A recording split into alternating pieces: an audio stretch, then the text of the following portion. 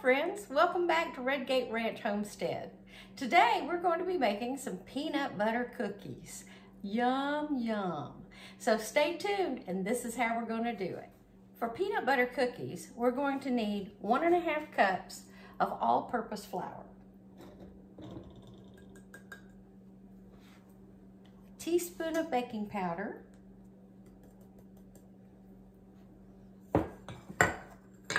and three quarters teaspoon of salt.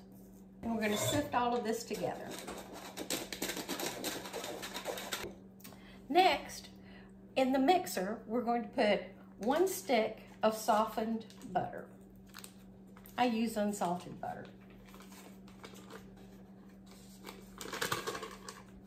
And then the other butter, peanut butter. We're gonna, we need one cup of peanut butter. And you know, peanut butter and butter together is really lovely on a piece of warm toast in the mornings.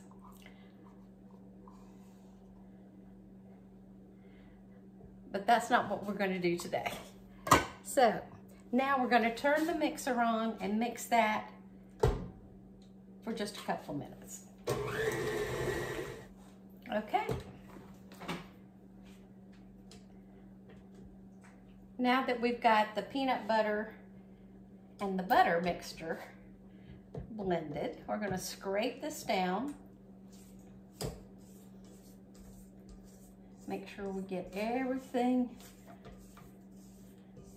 so that it can be incorporated. Then we're going to add one, one half cup of packed brown sugar then one half cup of white sugar. We're gonna mix that together.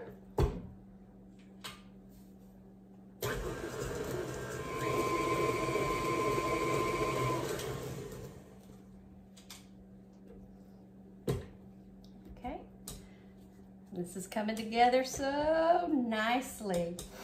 Mmm, peanut butter smells so good. I just love it. Scrape that down. Okay. And now we're going to add one Humpty Dumpty, otherwise known as one egg. And then one teaspoon of vanilla. We'll mix that together. Okay. Now we add the dry ingredients that we sifted earlier.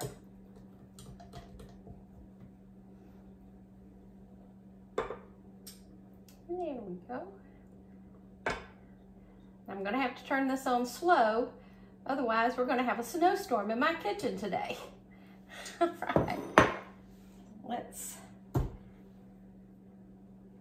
go slow.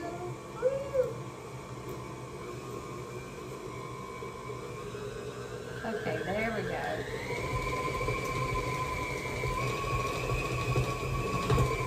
All right, now that's all blended and I'll bring you back as soon as we're ready to put these on the cookie sheet. Now we're going to roll out the cookies and put them on a baking sheet.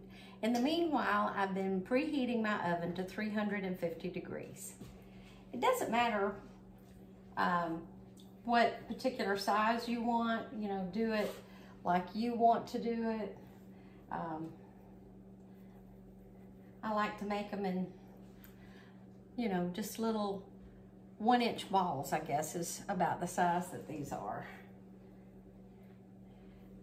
And these go on an ungreased cookie sheet because it's got all that butter in it.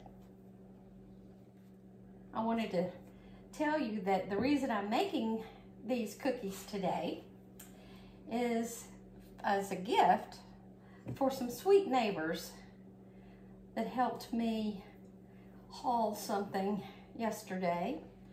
And I wanted to just do a little something for them to let them know how much I appreciate. So, Tiffany and Jimmy, if you're watching, thank you. I hope you enjoy these. Tiffany and Jimmy have five children together. And they are the sweetest family. They have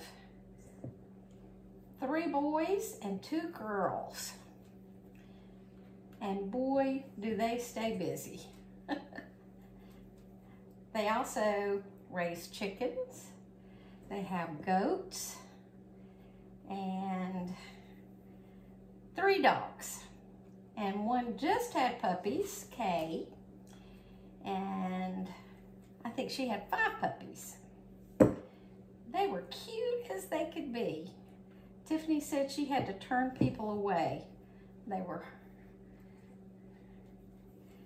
they're pit bulls and they are the sweetest dogs ever. So I bet Tiffany and Jimmy and all their children are going to be so surprised with these peanut butter cookies. Now, I bet you thought I was about to forget about taking a fork with the traditional peanut butter cookies. You uh, score them with a fork. So let me reach.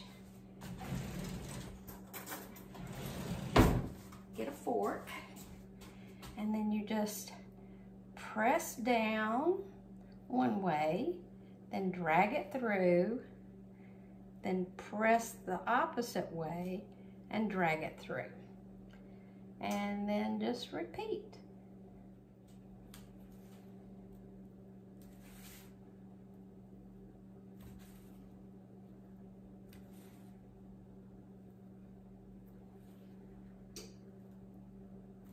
Okay, now those are ready for the oven and I'm gonna bake these at 350 degrees for about 10 minutes.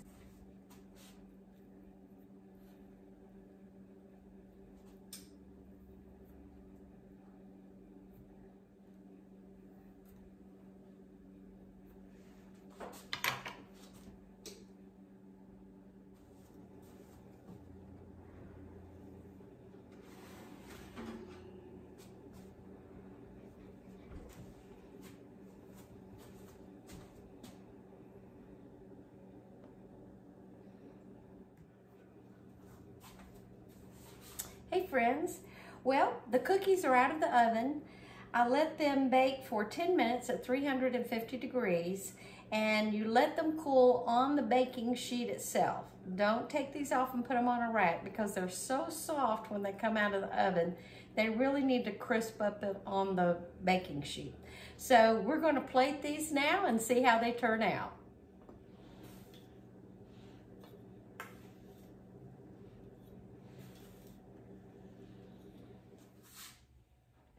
Well, here they are. Crunchy, sweet, salty peanut butter cookies. They look like little mini hashtags, don't they? Um, I wonder what they should hashtag. Good neighbor?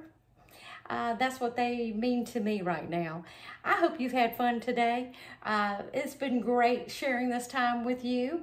I'm going to take these over to Jimmy and Tiffany, and I hope that they have a big tall glass of milk because that would go great with these cookies. I'm building community with the cookie recipe. I hope that you enjoy it and that you can build bridges with this recipe too.